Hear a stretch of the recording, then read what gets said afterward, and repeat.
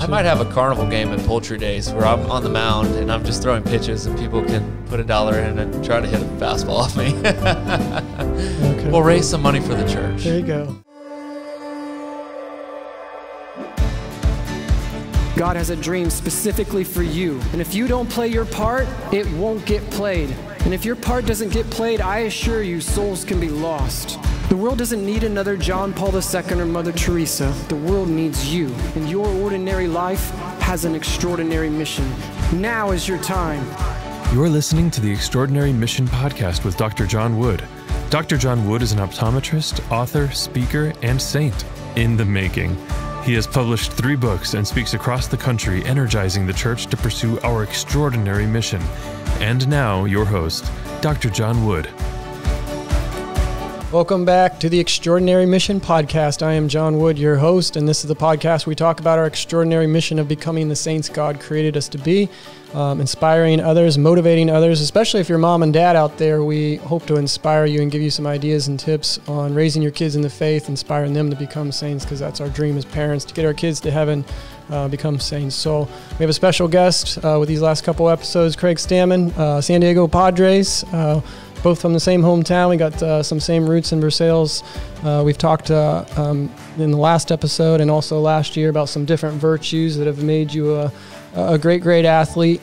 Um, those virtues also make you a great, great man, uh, man of virtue, and um, you've been a great role model for a lot of different people. And so let's continue our series. Um, so far, we've talked about things like self discipline, we've talked about um, sportsmanship, winning and losing. Uh, last time we talked, um, we talked about um, obedience and listen to the coach. Um, we talked about perseverance, passion, those kind of things. So I thought in this last episode we talk a little bit about um, just doing things over and over, repetition, practice. You know, a great athlete doesn't get to where they're at without um, a lot of repetition, a lot of routine, a lot of doing the same thing over and over again, which can seem a little boring at first, but I think it's something that kids need to learn. Um, you know, growing up playing sports, I think it's a great virtue we can teach. So, do you have anything? Any any routines that you've developed over the years? I'm sure that you probably do every day that have probably made you better at what you do. Yeah, I, I mean, almost too many to talk about, but um, you can, if you watch me over the course of 162 days, my goal is to be the same person on the first day as I am the last day. And that involves doing kind of the same things, you know, every day to, to be at my top potential for each game. So, I mean, I've tried to show up at the same time. I try to stretch out the same way. Um, not superstitiously, but just because that's what I know will get me ready to play the game. Um, and so repetition has become and routine has become basically who I am as a ball player. It breeds consistency, and I think consistency is what a manager or a coach wants in a player. He wants to know when he puts that guy in the game, he's going to get the same thing every single time. He knows what he's going to get. It's not going to be a flip of the coin. He's going to be good today or he's going to be bad today. And I think that's been one of my biggest attributes as a player is I've been able to be rather consistent. The manager can rely on me because he knows, you know, what's going to happen. Yeah, so you know that that consistency is it comes from those routines. It comes from that repetition. It comes from doing the things the right way uh, every single day. And so um, you know, getting ready for a game. You know, getting in the you're in the bullpen. Um, one of the probably challenges, I guess, of being a relief pitcher is you don't really know if you're going to get in the game that particular night. But right. um, when your name is called, you got to be ready to go, and you certainly are, are a guy they call on a lot. So, um, what take us through your bullpen, you, you, maybe your mentality and your routine of getting ready to go into a game each and every night. There's got to be some things that are comforting for you that kind of to get you ready to go, um, get on the mound and, and do your job and get some outs. Oh yeah, and I think this is something that the younger players that come up to the big leagues don't really understand and they watch me every day and they're like why do you do this? Why do you do that? Why do you do this? And then i'm able to explain to them and they're like i need to start doing that because i'm not the same person. I'm not the same mentally uh, when i go in the game every single time. And for me it is all about mentals being in that same mindset uh, consistently. So a lot of the stuff i do is physical but that physical stuff puts me in the right mental state. Um, so usually the first – uh, three to four innings, we're just kind of sitting there watching the game. You know, that's when we're everybody talks about the bullpen games where you're flicking seeds and chewing gum and making bubbles and you know whatever, telling stories and all kinds of stuff. Um, but usually, you know, hopefully the starters pitched enough of those innings that you don't have to get ready super quick. But depending on your role, and my role's always kind of been at any time. Um, I've always decided that I'm going to stretch out. I'm just going to do a nice light stretch just to kind of get away from all the guys joking around, having fun, kind of get away a little bit, spend my own time to myself, but just do like a normal five to seven minute stretch. So I'll do that either depending on my role. If I'm pitching the eighth, it's usually in the fifth inning. If I'm pitching any other time before that, I'm stretching in the fourth. Um, when our pitcher is pitching, whether it's the bottom of the fourth at home or top of the fourth at home or the bottom of the fourth on the road. Uh, so I'll do my little stretch. I'll do a couple jogs back and forth to end it. Um, and then I kind of sit back down, and then that's when I'm locked in. That's when I'm watching uh, the game really closely, like trying to pick up certain things, um, really watching our starting pitcher to see if he's uh, laboring at all, if he's going to come out of the game soon, or if he's going to start cruising, uh, kind of thing. And once one inning is passed, so either if I stretch in the fourth, this is the fifth, or stretch in the fifth, this is the sixth I'll get a baseball and I'll throw it up against the wall. I don't know, ten or fifteen times. So it's just kind of to get the break up the arm a little bit, just get it just a little bit loose, so that when you're called, you can get loose a little bit faster. And sometimes that throwing is not against the wall. Uh, it's with the outfielder in the outfield when we're on defense. Some, it just depends which stadium. Sometimes the bat boys throw with the outfielders, and then they don't need us. Sometimes there's, there's no bat boy, so they need a guinea pig reliever. Always so, wanted that job. Yes, exactly. So that's me out there throwing just to warm up. Um, and then by then, you know, I've got a little bit of a sweat going, and I'm I'm ready to go. And at that point, I've got my sweatshirt on. Uh, things are ready to go. Now it's anticipating when I may be called into the game, and I'm always trying to watch the game. Like, could he put me in here? If this guy gets on, am I the one getting up? You know, who's the guy getting up? And whatever. We had a joke last year. Whenever the phone rang, all my bullpen mates just started yelling, "Craig!" Craig. and pre-game when we're taking batting practice, they're testing the bullpen phones to see if they work. They do it every single day, and so whenever the phones, the whole bullpen yells Craig because they were making a joke of how many times I was getting called to have to get Yeah. warmed up, which whatever it was a.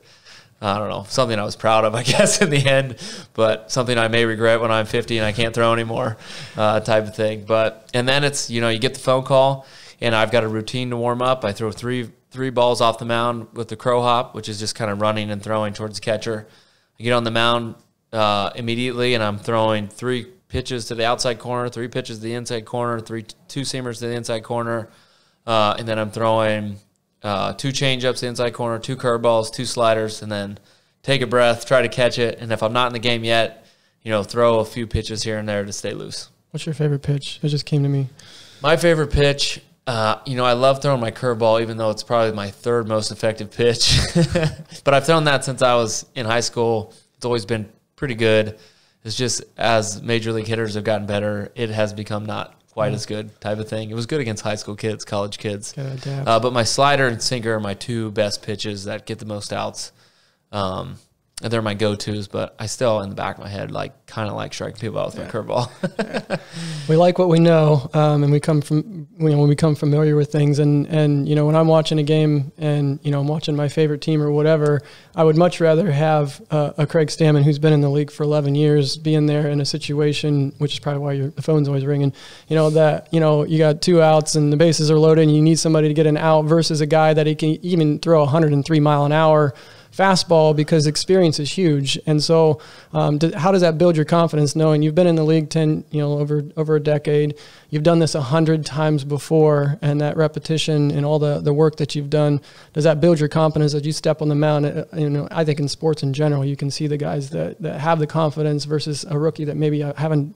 You know, I have the I have the ability, I have the talent, but I don't have the experience. And so, talk about how repetition is giving you confidence to to to succeed. Yeah, and you know, I've been like you said, played for 11 years, but I still get the same nerves I got the first time I went in the game. You know, there's still that anxiety, that fear of failure. You know, that isn't necessarily a good feeling, and it's one of those feelings that like I want to get rid of as fast as I can, but you also know that you've got to face your fear.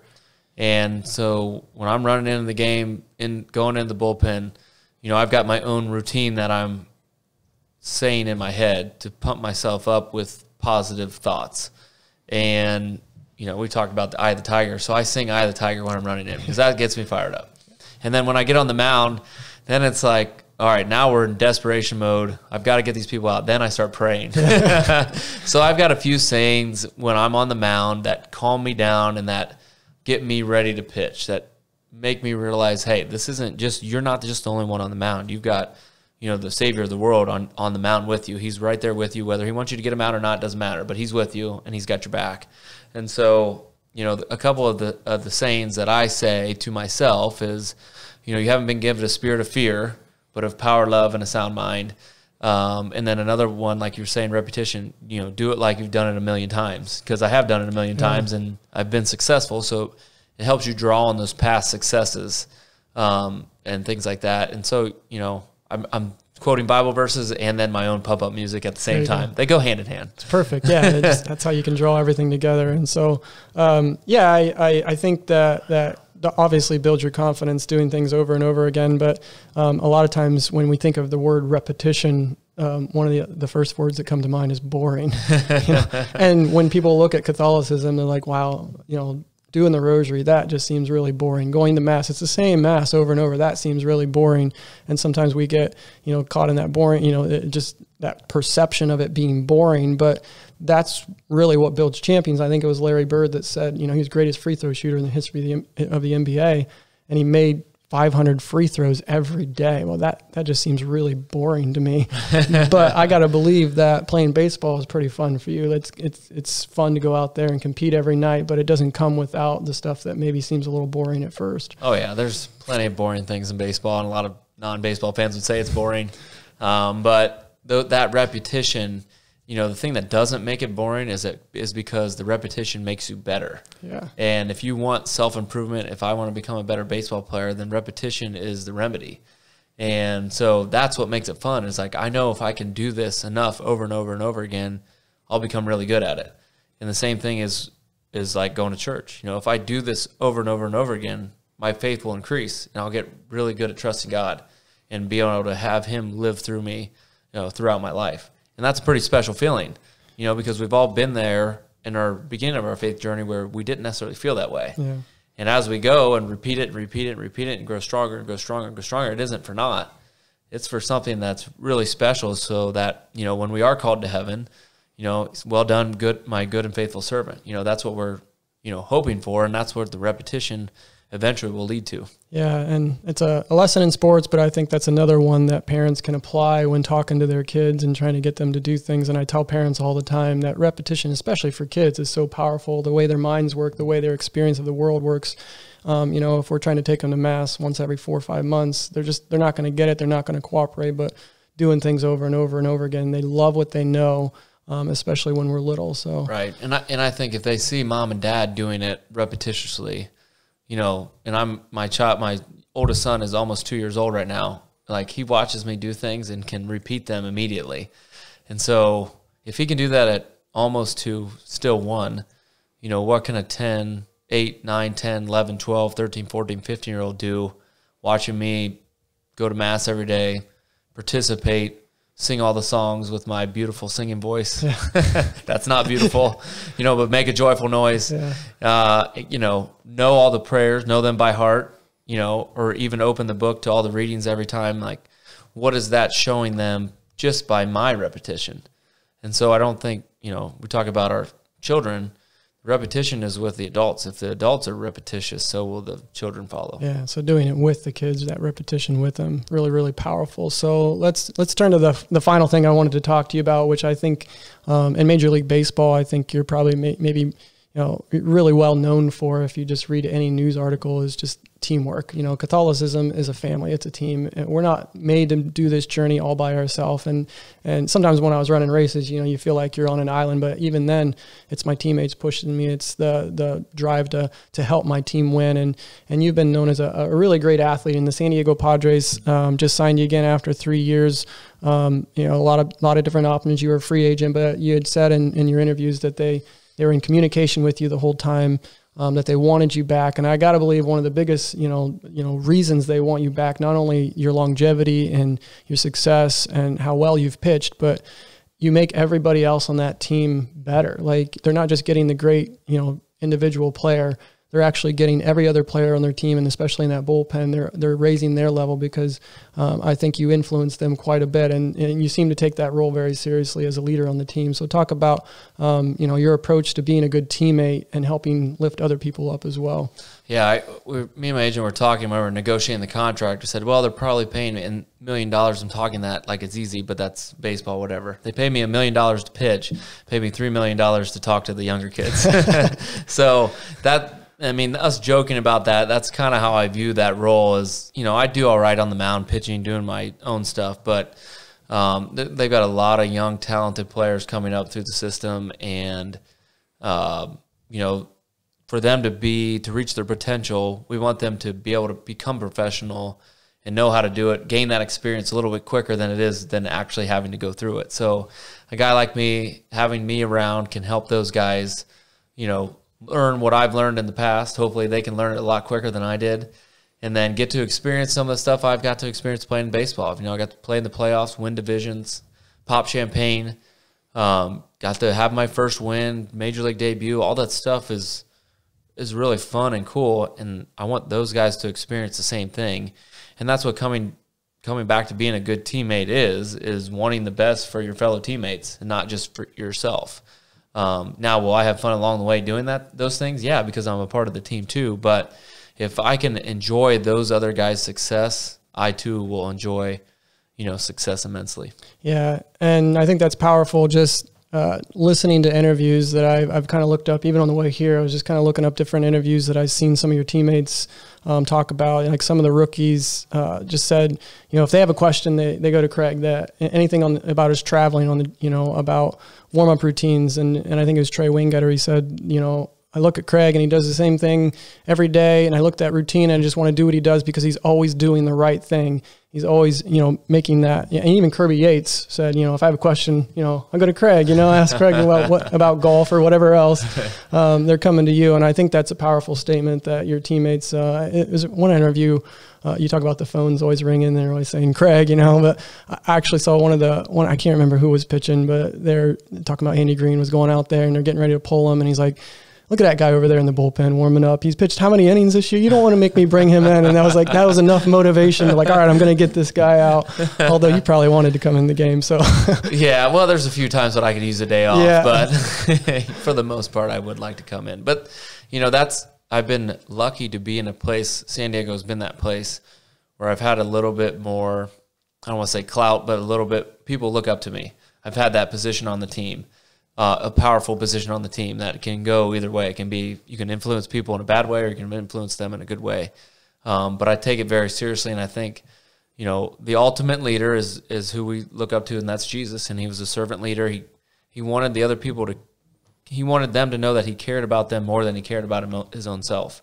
And that's essentially how you kind of treat the other guys on the team is you want them to know that you care about them and love them if not more than yourself or just as much. And when they finally realize that, or when you show them that love, then they realize, like, all right, he's not just feeding me this stuff to feed me to try to win a baseball game. He's feeding this stuff because he wants me to be a better man. Yeah. And when that kind of clicks, then that's when you see teams win the World Series. You see that team camaraderie, you see that team togetherness because they care about each other so much that who cares who gets the credit? We want the credit. Yeah, and I imagine that uh, in some instances it's got to be tough, especially when you're first coming up, and uh, it's kind of like you're almost competing against your teammates. I mean, when you're when you're in the minors and you're going to get a shot, you got to be looking at everybody else around, or how good's this guy doing? Are you going to bring me down? Are you going to bring that guy down? And I, I imagine there's got to be a challenge there because baseball's filled with a lot of individual statistics. I mean, you guys keep track of everything and ERAs and whatever letters ever else whips and everything else. yeah, you know, more so, than I can uh, keep track of. I don't know if that is is helpful for you. Uh, in, in, a sense, I think it drives you. We talked in a previous episode about the scoreboard.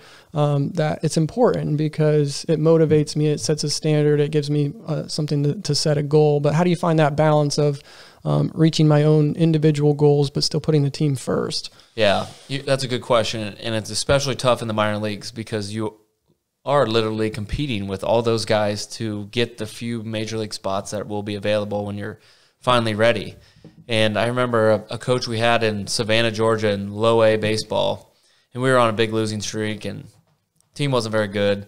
And he, he sits us all in the locker room and he goes, Look around. there might be one, there might be two if you guys are lucky in this whole entire room that are going to make it to the big leagues. And I'm looking around I'm like, uh oh, there's a lot of other guys that are better than me in here, kind of thing. And it ended up being one, two. I think there's three guys that actually made it to the big leagues off that team, which is kind of crazy. At the time, you're thinking this guy's good, that guy's good. This guy got drafted high, he got a high signing bonus. All these guys are going to make it. Um, but then you started realizing like how guys kind of fall off. Some guy gets injured. Another guy's just a terrible teammate. He's only for himself, and somehow those guys never make it. Yeah. You know, it's funny how it always works that way. But the guys that really are super selfish about it end up falling by the wayside because when you try to do it by yourself, it just doesn't work. But the guys that are are good teammates that try to help the other guy, that are in it to win the game, not just to be successful themselves. Those are the guys that tend to keep moving up, and they tend to be on successful teams. And every team wants players that have been on good teams. And so when you be, when you try to be a good, great teammate and you are a great teammate, that makes other people want to be around you, and therefore you get to play a little bit longer. Yeah, um, and you're early in your career. Uh, did you have uh, a couple people in particular, maybe that mentored you more than than most, that gave you and showed you how to do things the right way, showed you the ropes and how to survive and thrive um, in the major leagues? That give you that that arsenal of things that you want to pass on to other people. Yeah, there's a, a few guys uh, that come to mind right away. Were Livan Hernandez, uh, Jason Marquis. Those two guys uh, were in the big leagues with me in 2010, uh, 2000, 2010 and 11 those two guys really kind of brought me under their wing and showed me what it's like to be a professional, how, how, what you do to be a good teammate, what you do to be a great player, you know, individually. And part of being a great teammate is taking care of your own abilities as best you can. You know, being a little bit selfish in your preparation, but at the same time caring about your teammates. So, you know, there's two parts to it: care about your teammates, and then also caring about your teammates enough to do what you're supposed to do on and off the field.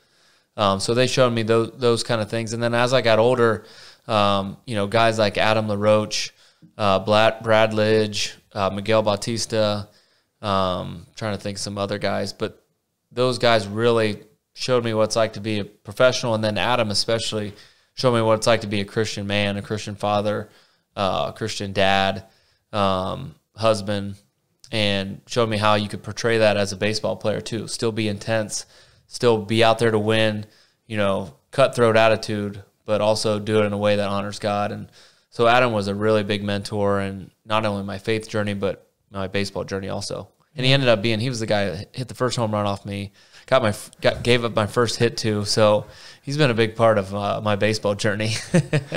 well, actually, uh, we were in a, a pre, another episode. You know, I just talk about the guys that I used to run against in high school, and they're my opponents. And you know, you sometimes you, you, you, want to avoid those guys, but they're actually the guys that push you and challenged you to to be to be great to to to get better than you can push yourself. And I think that's the role of a teammate is to to to push each other and and reach another level that you know if I'm out training for a race all by myself, I'm never going to reach that level unless I have teammates um, and people I care about around me, kind of helping me. Right. You know, level. if you're running a mile and the fastest anybody else is running is I don't know four four minutes and forty five seconds that's all you really have to beat. You just have to beat yeah. 444.